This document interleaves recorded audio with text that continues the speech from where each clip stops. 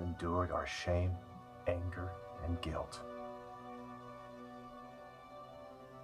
He was pierced for our transgressions, crushed for our iniquities. He was oppressed, he was afflicted, yet he opened not his mouth like a lamb that is led to the slaughter. But it is by his wounds that we are healed. He made a way for our brokenness to become holiness. Without Good Friday, there would be no good news. Thank you, Jesus, for your sacrifice and for your love.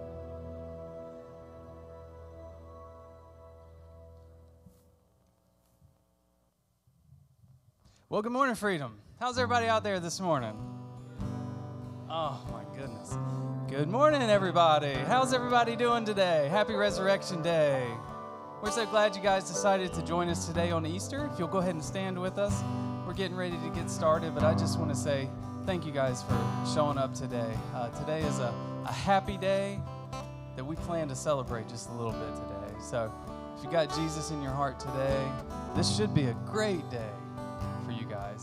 This first song we're going to do is called The Old Rugged Cross. If y'all know this, sing it out with us.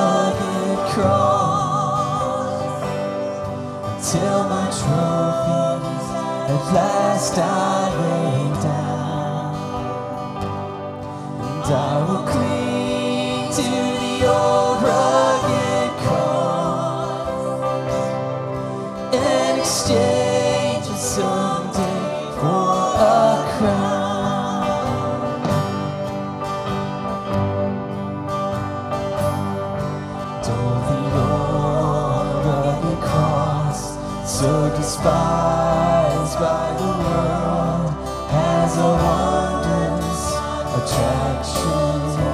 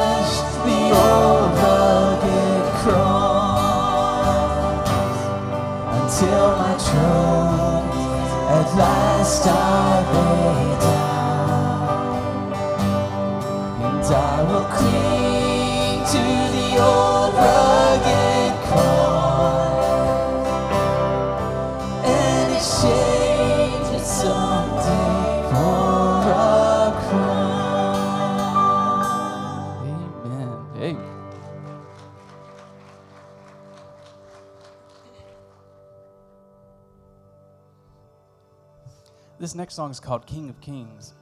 When we get to this last verse, this last verse is absolutely what this day is about. It's by his blood we are saved today, guys. Today is the finished work of the cross, the day that the tomb rolled open and was found to be empty because our Savior was not there. He was alive today. This may be the saddest, happiest week in all of human history. And we're here today together, celebrating it because of that cross. So today, as we sing this song, guys, the King of Kings, that's what today is about. The King of Kings has risen today. So you guys, sing it with everything you got. And in the darkness we were waiting without without. To from heaven you came running, there was mercy in your eyes. To fulfill the law and prophets, to a virgin came the word. From a throne of endless glory to a cradle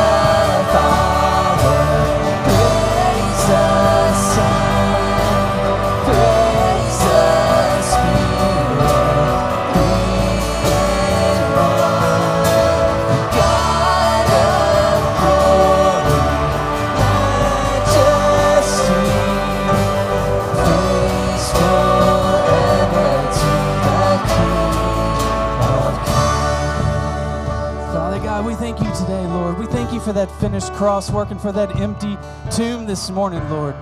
We love you so much, God. We thank you for giving us this opportunity to sing and praise your name on such a wonderful day.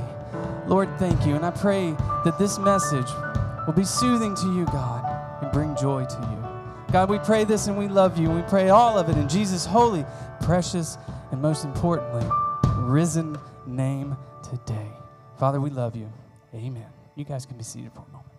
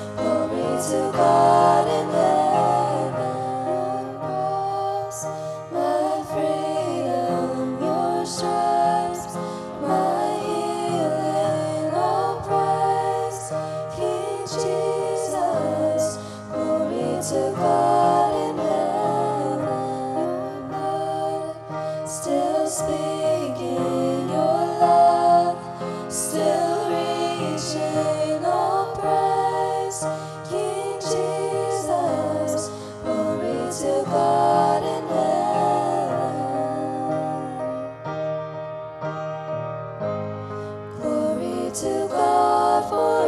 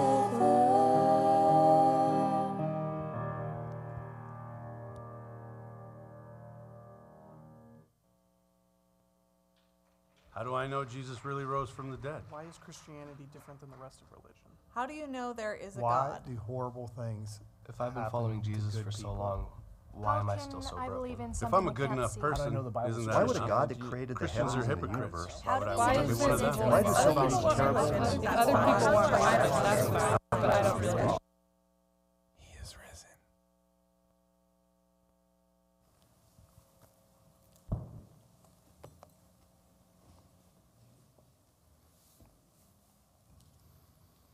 Well, happy Resurrection Sunday to you. Happy Easter. And for all of you that are joining us online, thank you for being a part of our church family today. And so, why don't you give yourselves a hand for being here on the greatest day ever? Amen.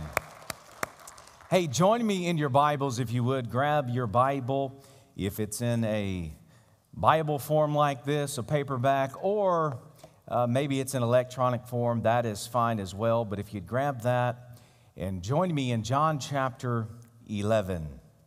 John chapter 11. I want to speak to you this morning about the title Christ is Risen. This changes everything. Christ is risen, and this changes everything. If you know Christ as your Lord and Savior, you know you have been changed from the inside out. You may look the same, but you know spiritually you are not the same. Can I hear an amen right there? I'm so thankful that Christ is alive. On Friday, we had a great, good Friday. And if you weren't here for the service, I want, want to tell you we had a great, great celebration and service declaring the truth of the cross and what it means. There was great music, there was great drama, and uh, certainly a great word from God. But I'm so thankful for Good Friday, but I'm more grateful that there's an empty tomb today. I'm so thankful that no matter where you go in Jerusalem, no matter if you tour where the empty tomb is, the place of the skull as known as Golgotha, we know that it is empty. And so I'm thankful for all the help. Thank you, Miss Crystal. Thank you, our drama team, our worship team. Uh, thank you for our production team. Thank you to our actors, many who were reluctant to do it until they realized they had no lines and then they gladly volunteered. So, to you who are brave, no word soldiers, we are thankful for you, and uh, I'm glad that you started your acting career, and we look forward to having you to be a part of more in the future. But today, John chapter 11, Christ is risen. This changes everything. The Bible declares in a very straightforward manner. That Jesus Christ rose from the dead and he is alive today. In your handout, that's the statement. And on the screen, I want to repeat that statement. The Bible declares, in a very straightforward manner, it gives facts. This is not a subjective truth, by the way. This is objective truth. See, subjective truth which means basically there is no truth and it's whatever someone feels or whatever someone thinks. That's not true. This is objective truth. And the facts that Jesus Christ is risen from the dead, not only that he died and that he was buried, but that he rose again the third day, is factual. We're going to look at some biblical facts today to prove. And if you are a doubter, if you are a skeptic, welcome. We're glad that you're here. We take that. We are welcoming that. We embrace that because we want to answer that and we believe that we can. And so many of you, maybe some of you who are watching right now, are kind of on the fence about this whole thing. You've heard it, you maybe even seen it in a drama, but you need hard evidence. You're not alone. There are many in the Bible who needed evidence. I wanted evidence. There's an individual and many in the Bible. Thomas wanted evidence. He declared, I'm not going to believe unless I see it. As a matter of fact, he, he wasn't even there the first time that Christ appeared after his resurrection to the disciples, he wasn't even there because he thought all of them were a bunch of lunatics. And then he showed up the second time, which we know Jesus asked for him, wanted to know where he was. Jesus came a second time to these men. We'll talk about that. But the fact is, he showed up a second time and he looked right at Thomas and said, Thomas, see and feel.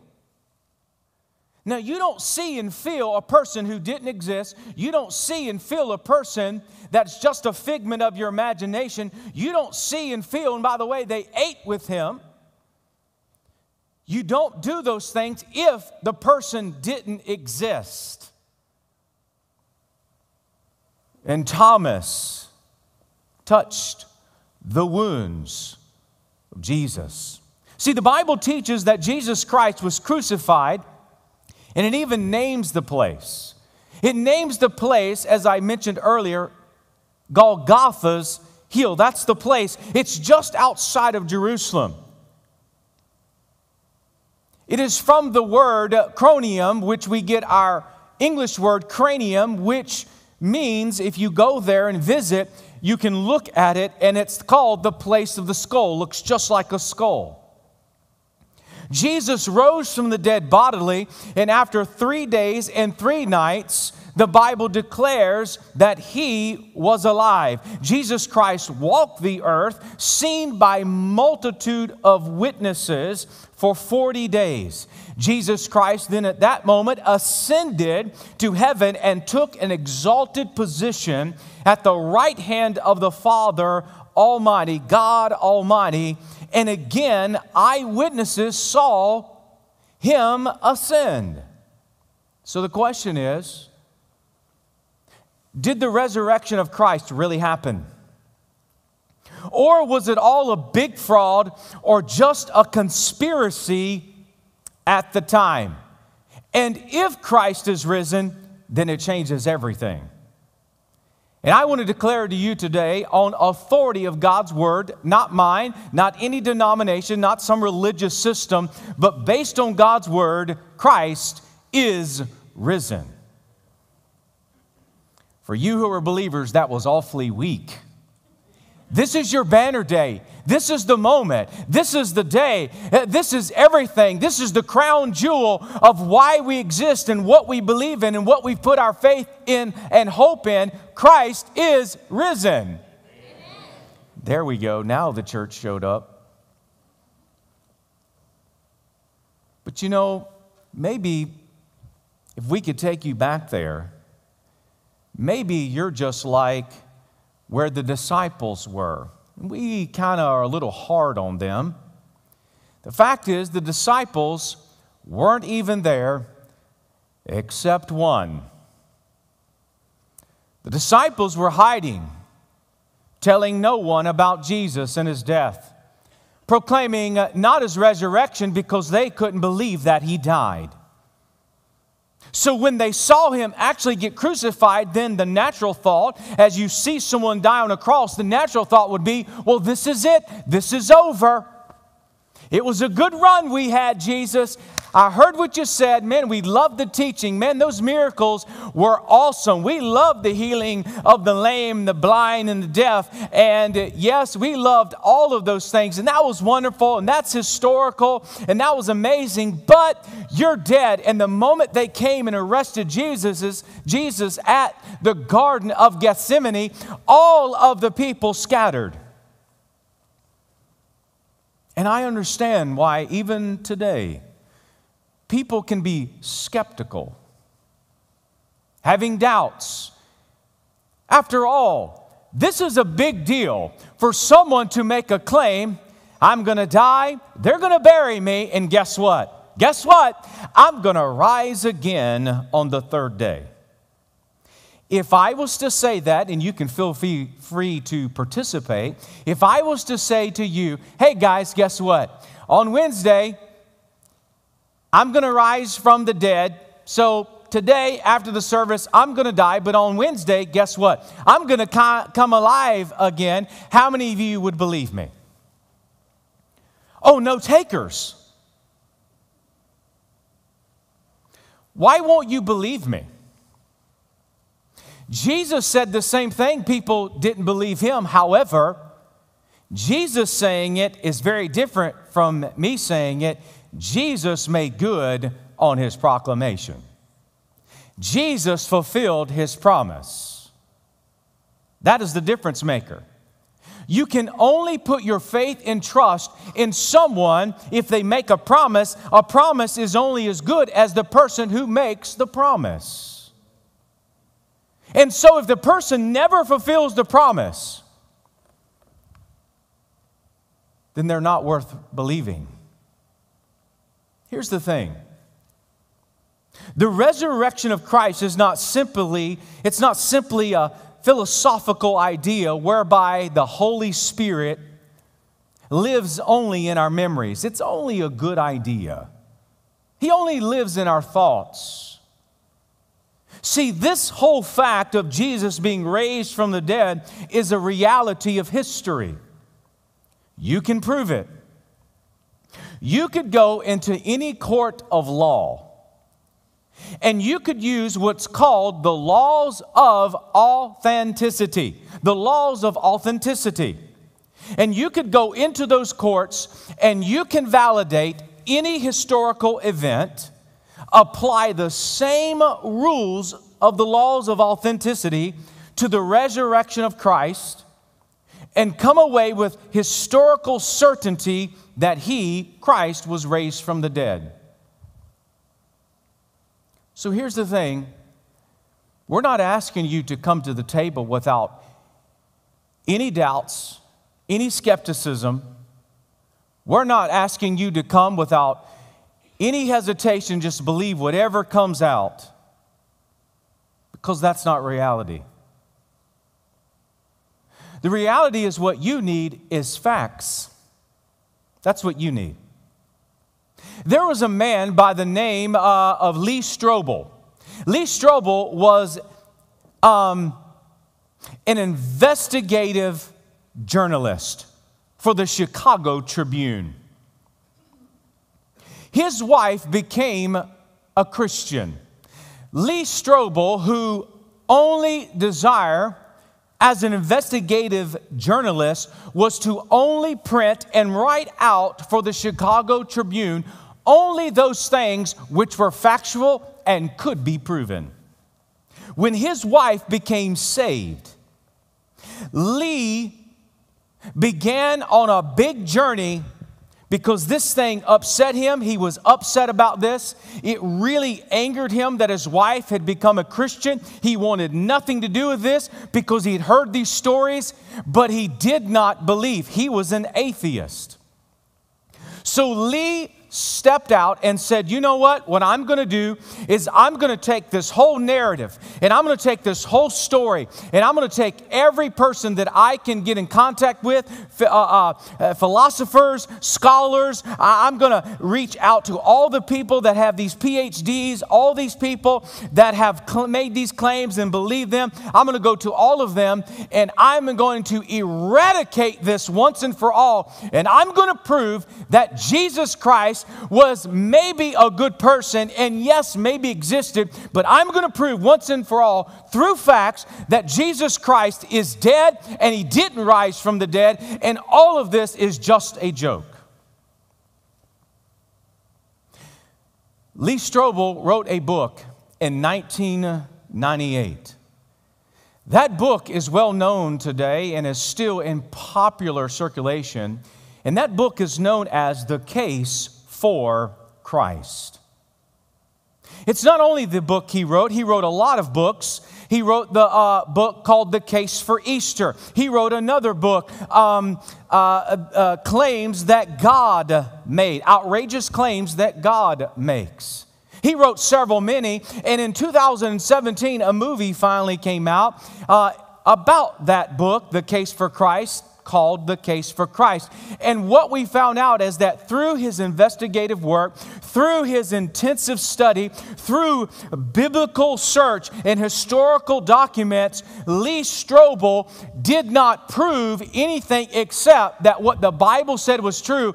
And Lee Strobel himself became convinced that all the facts pointed to one thing Christ is risen. If you don't have that book, you ought to, write, you ought to read that book. He has many other books for kids, for, uh, for teens, that all typify this thing that there is absolute historical and biblical documentation that verifies that Christ is alive. Here's what I want to say to you. Some people will debate and that is fine. Feel free to do that. Let's engage.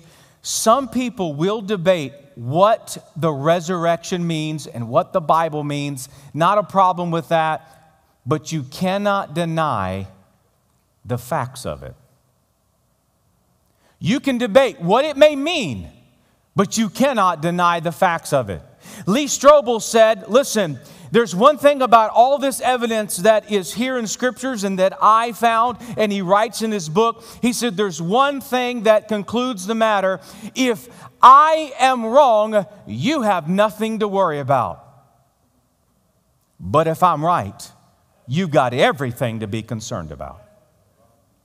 So, my friend, are you wanting to just kind of balance this whole thing, maybe straddle the fence a little bit, trying to figure out, well, I'm just going to base it on my truth? No, my friend, that's subjective truth.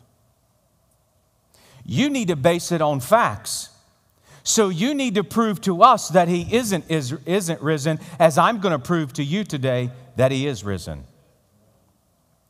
And so it's important for us to look at that. So, if we could today, let's together, you at home and you that are here, let's consider some facts about the empty tomb that changes everything. Let's do that today. So, what we're going to do, if you can help me now, I don't know about you, but I love investigation stories.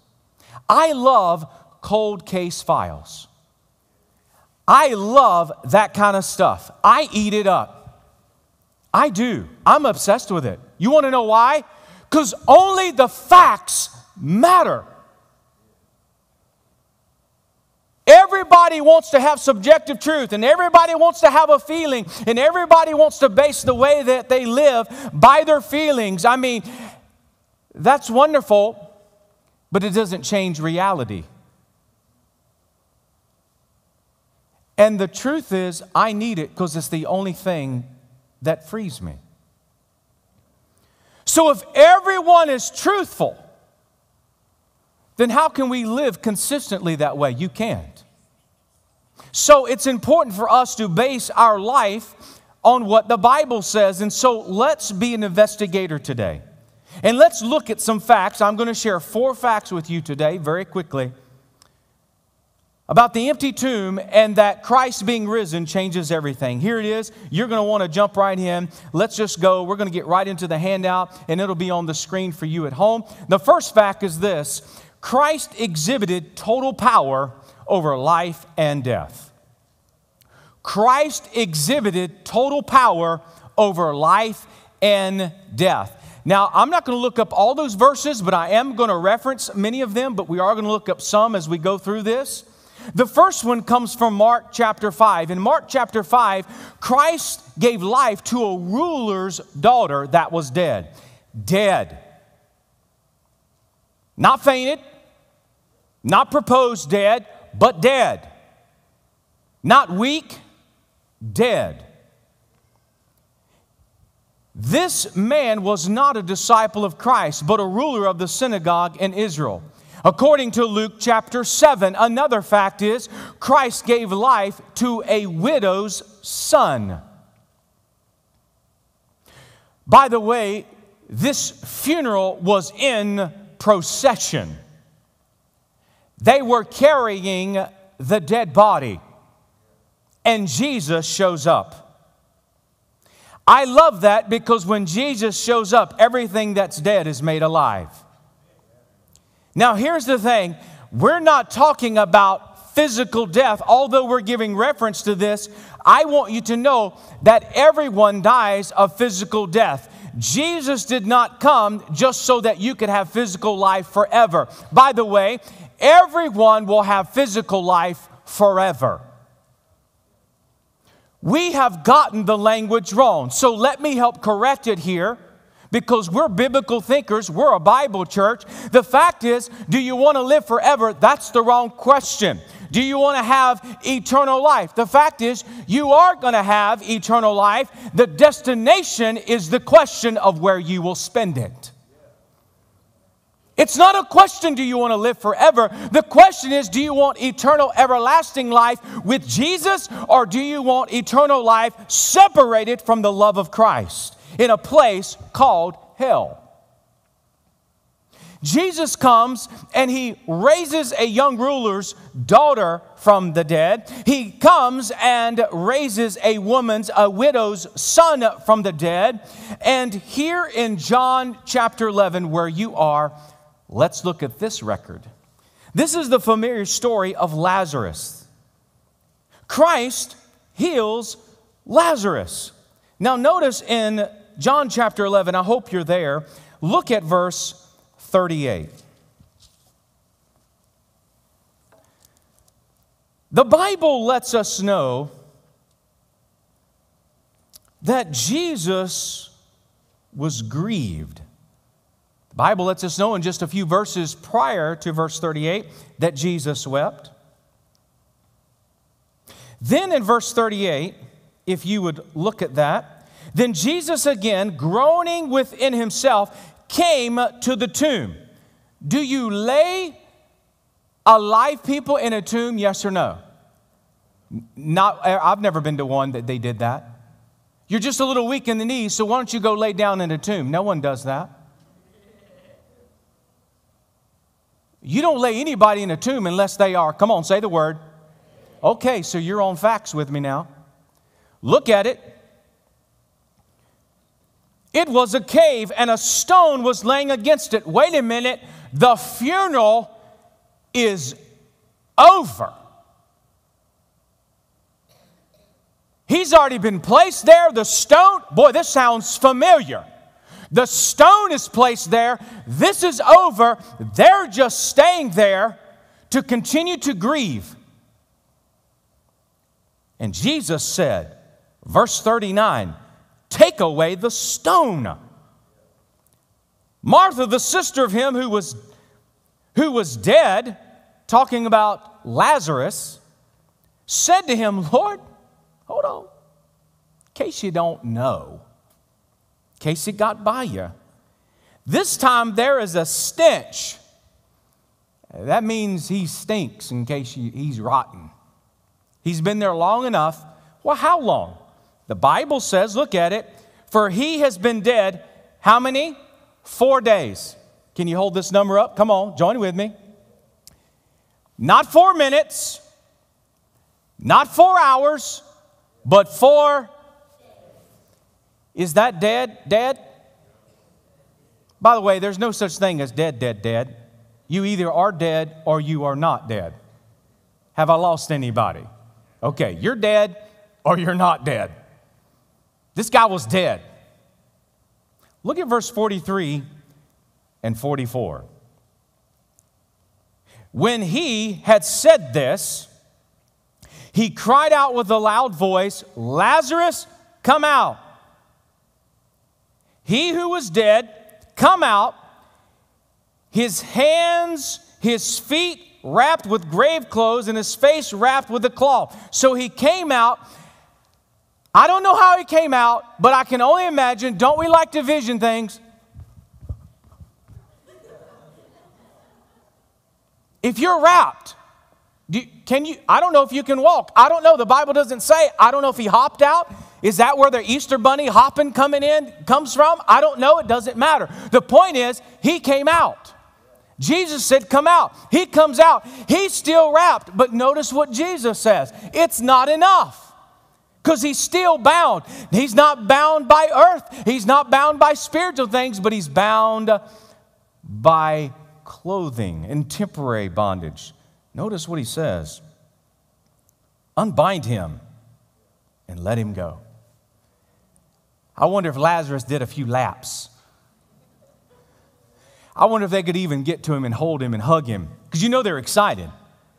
But that guy had to have been taking a lap. I believe he might have been a little Pentecostal. He might have ran a lap. Hey, would you have ran a lap? Would your mama have ran a lap? I guarantee you. Would your family? Oh, yeah. Why? Something that was dead is now alive. It's worth celebrating. The risen Christ is worth celebrating. Why? Once was, was dead, is now made alive again. So take a lap. Here's the problem, though we have disconnected ourselves from the facts. We get over the excitement really quick. By next week, most of you will have already moved on from Easter, Resurrection Sunday, and we will already be in a different mode set as far as even the service is content. Folks, we don't have any service. It's not worth showing up to. It's not worth spending time on. It's not worth studying if Jesus is still dead. I'm sorry, I'm not worshiping some good prophet or some man who made a claim that he didn't fulfill. I am worshiping the Son of God. It is important to note, though, that Christ performed these miracles, and by the way, these raising of the dead in front of witnesses, huge crowds of people, believers and non believers saw it. This is not something that Jesus did behind closed doors with just two or three people who speculate what they saw. All of these people came out and said, Hey, my loved one was once dead and now they're made alive, and Jesus did it. You don't become a proponent and an eyewitness and a teller of this unless you actually witnessed what happened. No one goes around and celebrates something that isn't true. People, listen, this is real important because we love truth. Truth is the only thing that matters. No one would do what they're doing and what these eyewitnesses will do for a lie. Think about that. No one would do it. As we consider the resurrection of Christ and that it really happened, we have to ask ourselves Did Christ give any evidence of having power over death before his resurrection? Absolutely, we just learned that. The answer here is for his own resurrection from the dead is in total harmony with his life and his earthly ministry. It also would be in character with his actions. So the first fact is that Jesus had total power over death and life. Let me give you the second fact, and that is Christ declared ahead of time that he would rise from the dead. He did. I want you to look, keep a bookmark in John chapter 11 because we're going to come back there. And go back a couple of pages, same book, to John chapter 2. John chapter 2, and look at verse 19 and verse 21. John chapter 2, verse 19 and 21. Jesus answered them, Destroy this temple, and in three days I will rise it up. By the way, he wasn't talking about a physical temple. He was talking about himself. He goes on record. Guess what? That meant nothing to them in the moment. But after he did on the third day, guess what? You think their mind went back here? You think it went back there, and all of a sudden, whoa, what he said was true. Look at verse 21 of the same chapter. But he was speaking concerning the temple of his body. I've already told you that. Go ahead and find Mark now. Let's look at, let's do, we're doing some investigative work. Matthew, Mark, Luke, and John. So we got to go to Mark now. So back up a little bit and go to Mark chapter 8. We're on the truth, we're on the search for truth. Not subjective, but factual truth. And let's look at what the Word of God says very quickly. I, I won't have time to look up them all. I wish I did, but we don't. Luke, uh, Mark chapter 8, and look at verse 31. He began to teach them the Son of God must suffer many things and be rejected by the elders and the chief priests and the scribes and be killed and after that, three days, what's those next two words? Yeah. He just wrote that. That's true. Mark wrote that. In order to get the whole picture of the cross and the empty tomb, you've, you've got to read all the Gospels, and all of them harmonize. That means they are unified. But here's the thing It's different if you write something and it's not true. It's a whole different story when you write something and then it becomes true. Then the writings are true. At this point, they're kind of wondering okay, I hear you. What is that to us? We have hindsight. We can look back on this thankfully and see that this is true. He said, Hey, you destroy this temple, I'm going to rise it up again. They're going to want to kill me. They're, everyone's going to come against me, all the religious leaders, even those who I came into my own, and the, my own received me not, the Jews.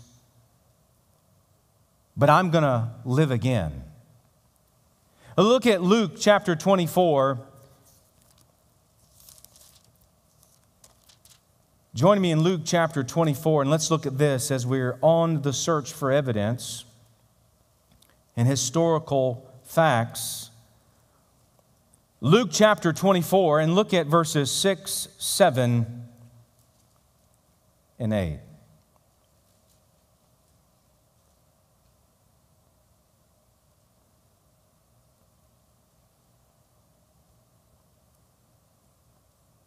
This is after the resurrection of Christ.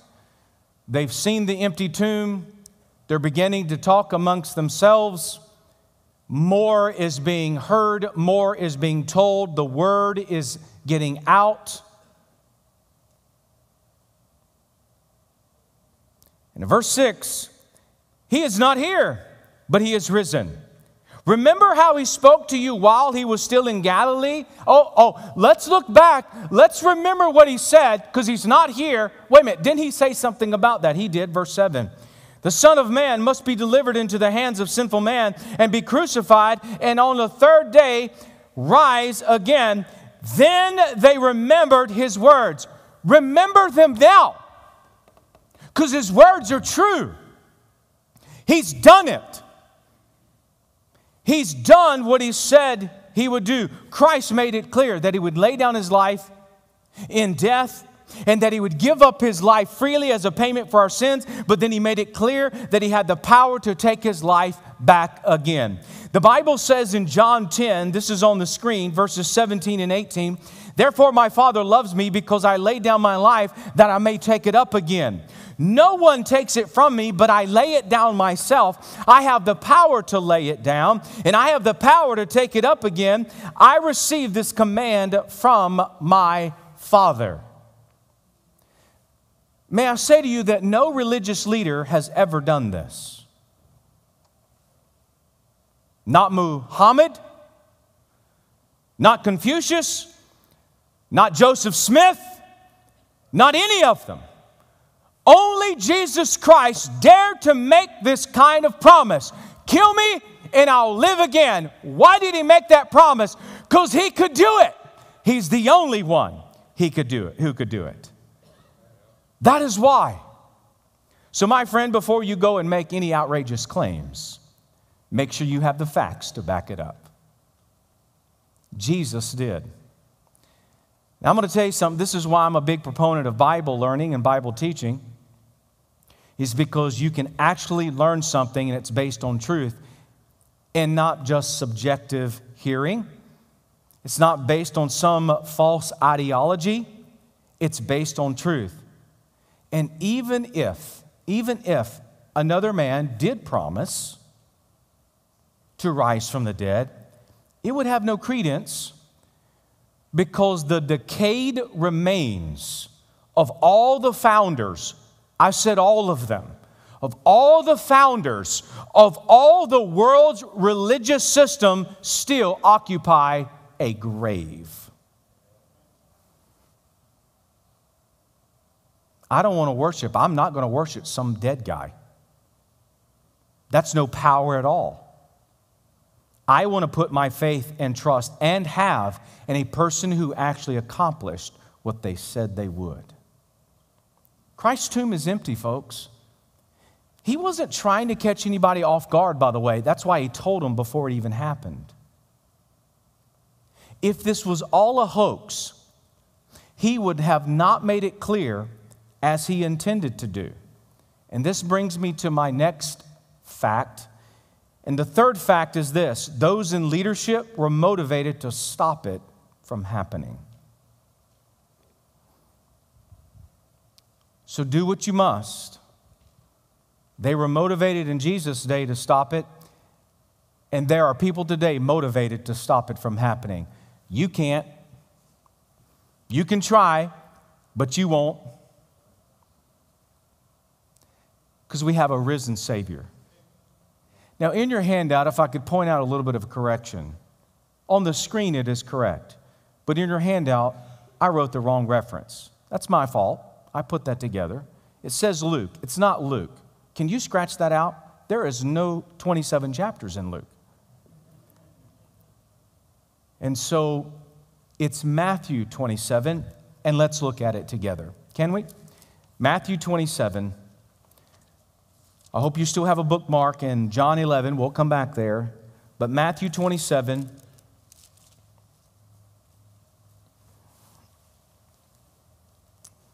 in case you went home looking for Luke 27. You'll be looking for a long time because it doesn't exist. Luke 27, Matthew 27, there I go, I go saying it again. Matthew 27, would you look at verses 62 through 66?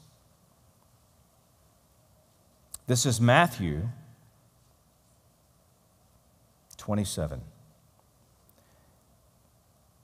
The next day, verse 62, following the day of preparation, the chief priests and Pharisees gathered together before Pilate, saying, Sir, we remember that deceiver saying while he was still alive, After three days I will rise. See, even everyone's remembering it, they just don't want to deal with it. Look at verse 64. Therefore, command. So let's make sure, because just in case, just in case, what are you so concerned about, just in case? If you don't believe it at all, what are you concerned about? Let it open. Leave it wide open. If you're not concerned about this, if you don't think there's any validity to this, what are you fretting over? I'm going to tell you, truth is truth. And when he spoke truth, it resonated with their spirit and they couldn't get away with it. They couldn't get away from it. Look at it. Hey, let's command that the tomb be made secure on the third day. Oh, oh, let's make sure on the third day, lest the disciples come by night and steal him away, and then tell the people, He has risen from the dead. The last deception will be worse than the first. Pilate said to them, You have a guard, go your way. You have a watch, you have a guard, you can have it, go your way. Make it as secure as you can. I don't care. Do what you must. Do what you think is best. Do it. So they went and made the tomb secure by sealing the stone and posting the guard. Christ made it clear, folks, ahead of time what he intended to do. And now his enemies had every opportunity to try and prevent it. Notice that they had a joint effort here in Matthew 27. There was effort by the religious and political leaders of the day to ensure that no claim could ever be made concerning the resurrection of the dead. They didn't want egg on their face. So they placed Roman guards at Jesus' grave. And after the resurrection, the leaders bribed the soldiers to even say that the, the Jesus' disciples came by night while they were asleep and stole his body. What? So, all this is to stop it. All of this is fabricated. Why would you lie to stop a lie? Why would you make all this up if it's just a lie? It takes care of itself. Why even bother if it's not true? So they were all asleep. That's what they're proposing. All the soldiers are asleep. I'm talking about tough as nail Roman soldiers. And all of a sudden, these group of men rolled the stone away. And by the way, the stone is known to be about four tons. This is about three or four cars worth. So men are able, in the middle of night, on their own, roll this away and carry a bo- body out? No.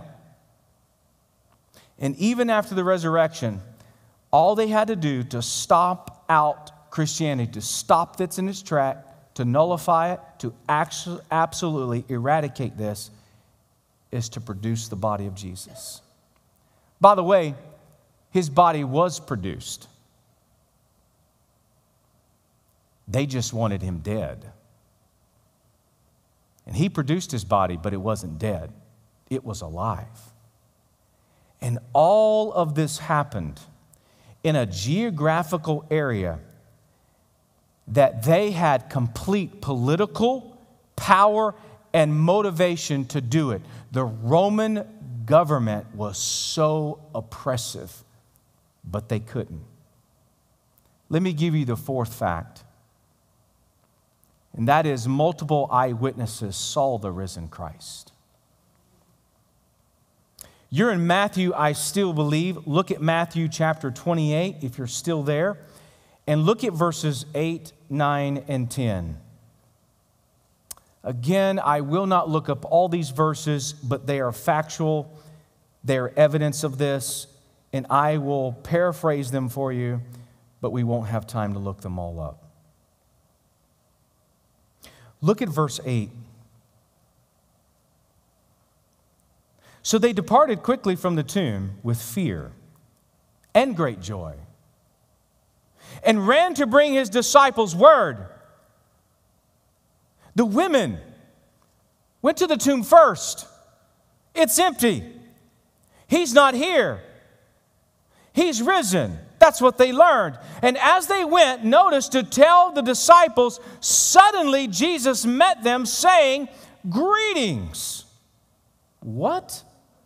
They came and took hold of his feet and worshiped him. Then Jesus said to them, Do not be afraid. Go tell my brothers to go into Galilee, and there they will see me. Jesus wasn't wanting to keep this under wraps, and by the way, neither should you. Jesus is wanting this to be told. Why? Because it's true. We're not asking you, no one's asking you, not even God Himself is asking you to go and be a proponent of a false lie, to tell something that's untruth. But what a proclamation we have, and there were eyewitnesses in His day. And we're not talking about one or two people that said we saw Him. We're not talking about people who said, well, we're pretty sure that it was Him. It looked a whole lot like Him, but we're not real sure. No, person after person said they saw him and talked to him, knowing that it could cost them their life if they had seen him. And they gave specific details about this. Let me give you a few. Christ appeared to Mary Magdalene first, then to a group of ladies that had come to the tomb, then to Simon Peter, then to the two men on the road to Emmaus then to 10 of his disciples, then to all of them again with Thomas there at that time. Then he appeared to over 500 believers at one time, and then he appeared to his brother James, by the way. Uh, Jesus had four brothers and unnamed sisters James, Judas, Joseph, and Simon. And they were non believers. They were non believers during Christ's earthly ministry. And then Jesus also appeared to Paul, Paul, the Apostle Paul, who wrote 13 books of the New Testament. And it wasn't one of these. I think I saw an angel at the foot of my bed last night. You think you saw? Well, who saw it with you? Well, no one. Well, where's the evidence? Uh, where is the facts that it actually happened? Uh, don't you know uh, you can eat some greasy food and pepperoni really late at night, pepperoni pizza, and don't you know you can have some wacko dreams? It will do it. But here, when we're talking about Jesus, we're talking about tons of corroborating witnesses gave detailed accounts. I, I, told you earlier that I love investigations. I love that stuff. I eat it up. And I love that stuff because they based it on evidence to prove who did it. I love all types of investigations. I, I love the investigations uh, about uh, the Holocaust and uh, did Hitler make it really out alive? JFK. I'm a huge JFK conspirator. Every time I've seen them all, I've read them all. I love Abraham Lincoln. I, I, I love all that stuff. I've read everything I can find about Abraham Lincoln. I love that stuff. Why? Because they're trying to document what really happened and they're trying to navigate through all the conspirators to actually get to the truth. Sometimes you have to come to a conclusion that we're not real sure, but that's not one of them here. Do you know that if there's a crime or a hoax, when you go to investigating, they'll let you know. The investigators, the inter- interrogators will do this. The more people that are involved in the crime, the more easy it is to uncover it. Now, if there's just one person involved in the crime, that is very hard to uncover. If I was to only tell one of you a secret, just one of you, and I'd have to pick the right one of you because some of you aren't good at keeping the secret. But if I was able to tell just one of you, we probably could keep a secret from the rest of you. But if I was to tell all of you the same secret, I guarantee you, you'd go home, maybe Facebook or even casual ca- uh, conversation outside in the community, you'd let it out. Why? The more people that know and find out about it, the more that it's talked about. That's what happened here in biblical times. That's why Jesus didn't just appear to people behind closed doors. That was personal and intimate. That was for a great reason, so that those men and those women would become emboldened and that they would become courageous uh, proclaimers of the truth and the death, burial, and resurrection of Jesus Christ. But he didn't stop there. He let hundreds and hundreds and hundreds and hundreds of others see him risen from the dead. Why? Because it's truth. We have nothing to hide. And any evidence for Jesus' resurrection was open to investigation and a challenge. Paul said when he was investigating it and when he had seen the risen Christ, Paul said in his writings that there were still many eyewitnesses that were alive in his day. Go talk to them. So, my friend, if you want truth, then you better check with the eyewitnesses and listen to the recorded words of those who actually have gone on record. So I'm asking you, you don't have to, please, don't take my word for it, but take the truth. Take the truth and allow the truth to change you. When you're doing some investigation, when there's just one person involved in the crime, it may take a long time to crack that nut. But when there are several people involved in the crime, right, Christian? You can get them separated and you can get them in different rooms. And by the way, there's no secret to it. You can get them to known as the phrase to roll over on the other person. You can say, well, hey, Joe next door, Sally is just spilling the beans. He is? Yeah, he's saying that you did it. Well, I didn't do it. He did it. And now you got people pointing fingers, and all of a sudden, all the truth starts coming to the surface, and you can start making sense of this hypothesis and this stupid, ridiculous story that they told. Why? Because when you get more people involved, somebody is going to say, listen to this now. I'm not willing to die for a lie. Don't send me to jail. I'm not going to jail for that idiot. I was just in the wrong place at the wrong time. I was just happened to be in the car, but I told him not to do it. It wasn't my gun, it wasn't my thing. I didn't want to do it. I tried to get out, but they wouldn't let me. And before I knew it, it all happened. And here I am before you. I didn't do it.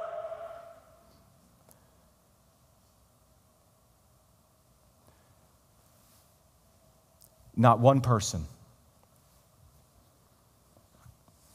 not one said, You know, we took him. Not one person said, You know what? He's still dead.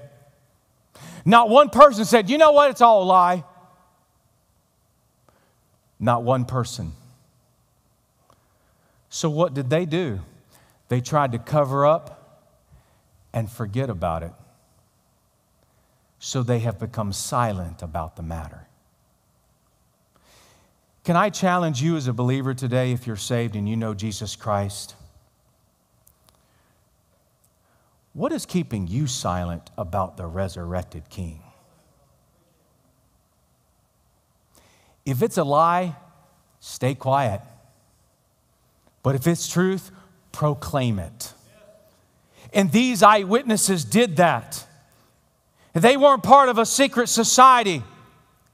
And even after all of this investigation, and even after uh, they went hidden in an upper room, and Jesus came to them, and they're like, hey, man, this thing is real. This really happened. Jesus said it. Now we believe it. We've seen it with our own eyes. We felt him with our own hands. We've seen him. We've ate with him. This is miraculous. You know what they did? They left that place and went right back in the same place that they crucified Jesus and beat Jesus and took care of Jesus. And they went back and started proclaiming the truth. Why? For a lie? No, because they weren't concerned about getting jailed. They weren't concerned about live, uh, losing their life. Many of them were beheaded. Many of them died horrible deaths, but they did it because they attested to the fact that Jesus was alive and they had seen him. And so, my friend, I conclude with this question, and worship team, come on.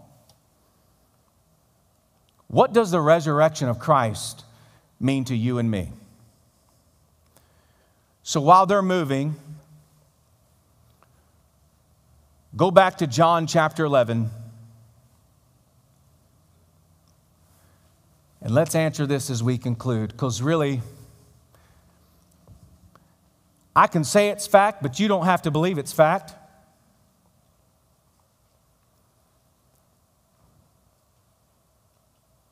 But we have to get to the logical part of it because any reasonable person cannot deny the facts of all of this. Doesn't mean you have to believe it, but you can't deny the facts of it. So, what does it mean to you and I? Because that's what you need to leave with. What am I going to do with it? To me, logically, it would make sense that if a man defeated death and rose from the grave, then he is the one that I want to go to to interpret to me what it means. So I can't come to you to interpret what it means. I must go to the author of it. I must go to the one who actually did it. Because you haven't died and rose again on the third day. You didn't do it. You're not the sinless, spotless Lamb of God, but Jesus is, and He did. So you must go to Him. And so logically, it only makes sense. And Jesus Christ, right before He raised up Lazarus from the dead, made it very clear, just so we leave with clarity of this thought. Look at John chapter 11. Go back there and look at verse 25 and 26. Jesus said to her, Hope you're there and not just listening. Jesus said to her, I am the resurrection and the life. He who believes in me, though he may die, yet shall he live.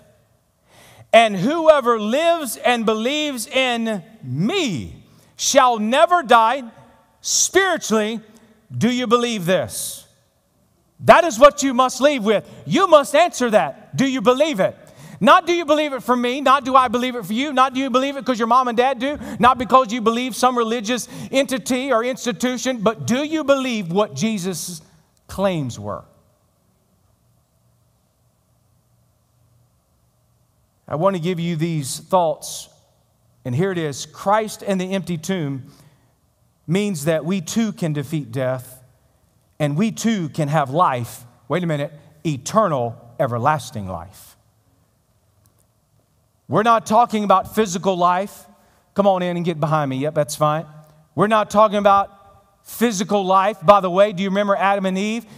The Bible told them, God told them, if you eat of this, you shall surely die. By the way, don't you know that they ate of that fruit and none of them kicked over dead immediately? Did they?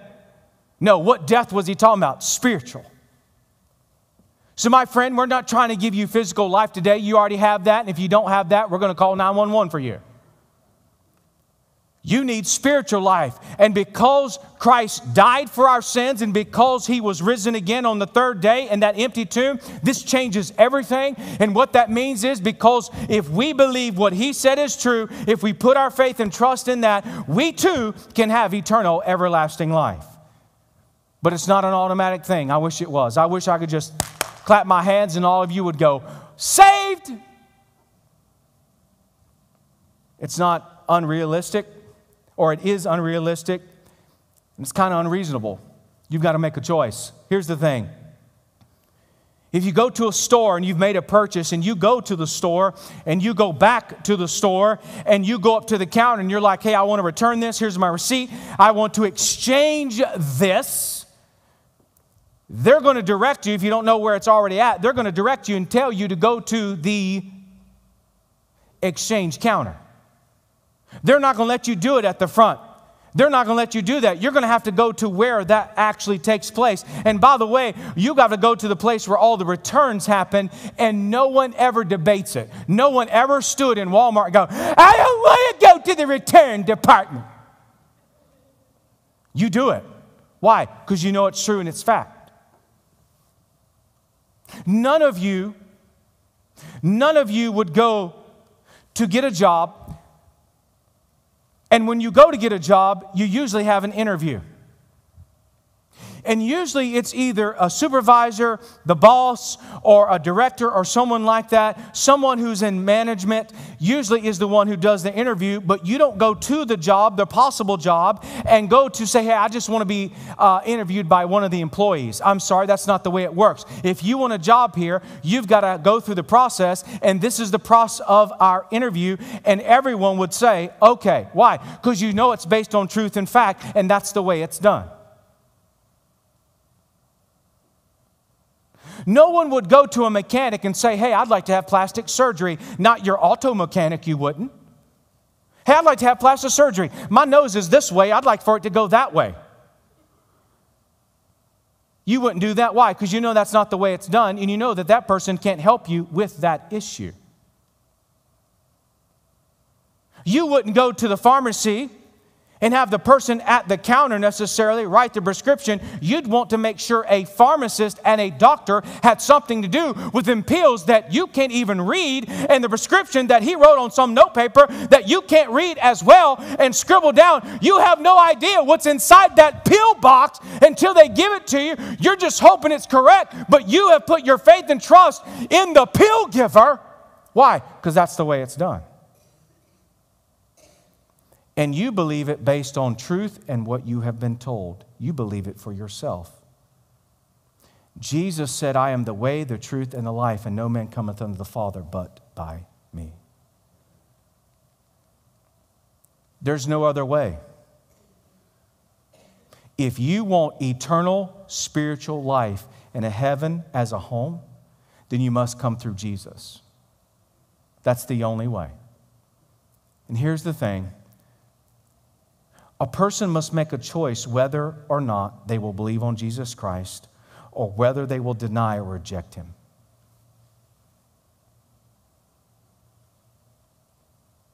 You must make a choice.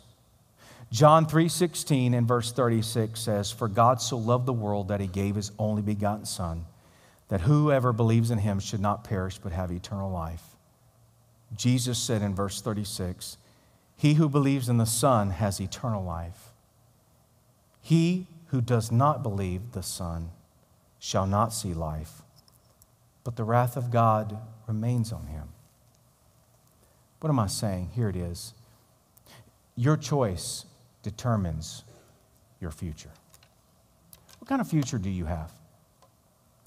My friend, if your choice is not based on the truth of God's word and what He's done through His Son, Jesus Christ, then your future is not one of hope, it's one of hopelessness.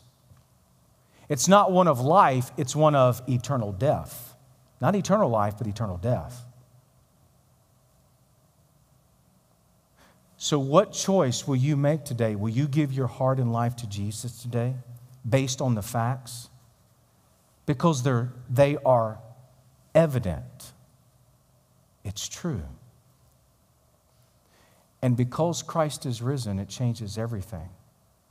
And I trust and pray that your life today has been changed through Jesus Christ. With every head bowed and every eye closed,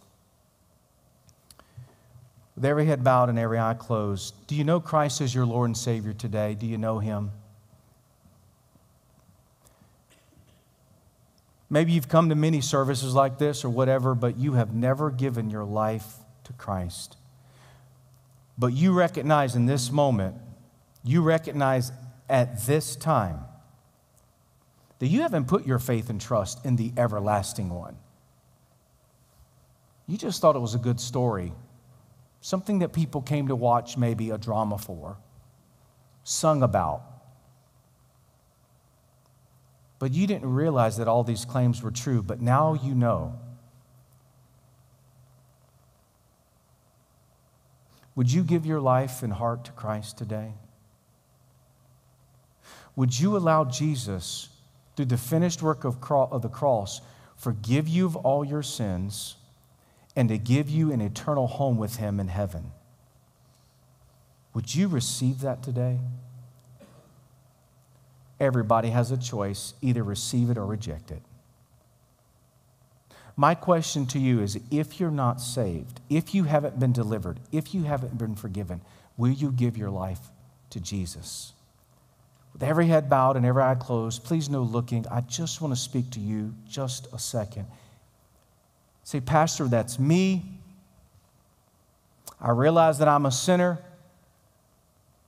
I realize the payment that Jesus made for me, and I won't, by my own choosing, to give my heart and life to Jesus. And I want to do that right now. Pastor, that's me. I want to do that right now. If that's you, with no one looking, just me, would you raise your hand real high where I can see it, where I can pray for you, acknowledge you, and pray for you? And when I do, you can put it down. Is there anyone in the service? Anyone? Raise your hand real high. Pastor, that's me. I want to be saved today. I want to be saved. Anyone? God bless you.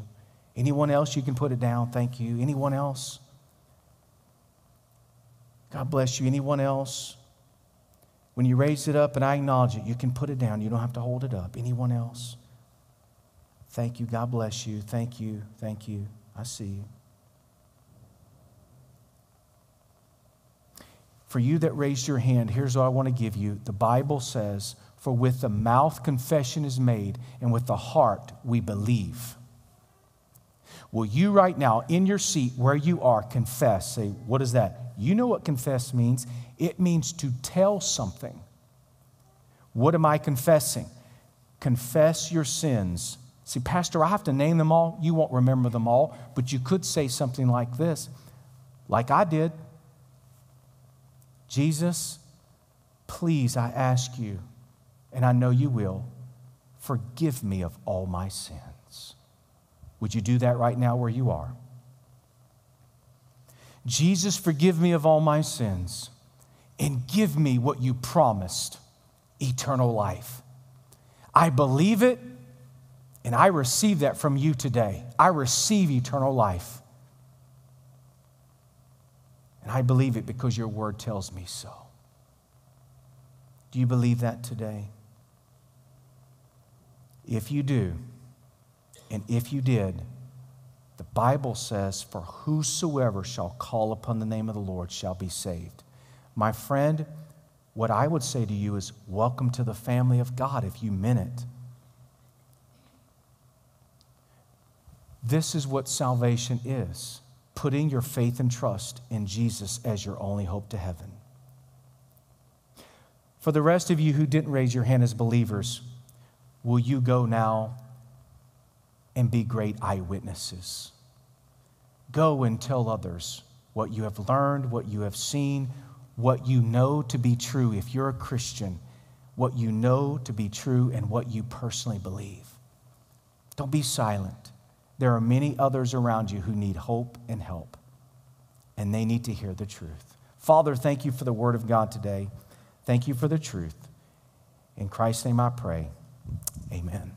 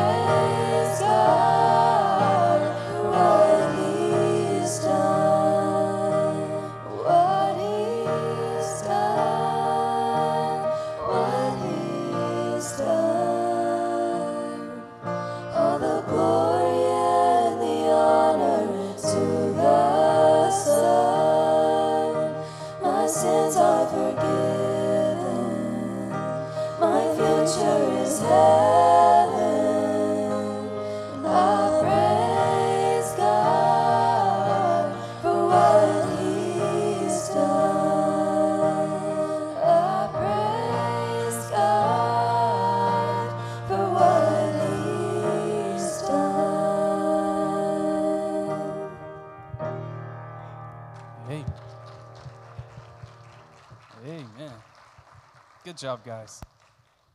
Well, in Jesus' famous words, it's finished. Amen to that. I love this song. I praise God for what He's done. Amen. Good job, girls.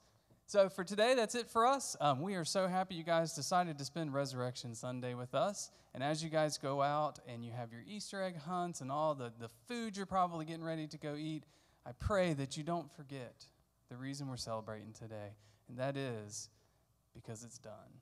So, you guys have a great week. We can't wait to see you back here next Sunday. We love you guys. God bless. Happy Easter.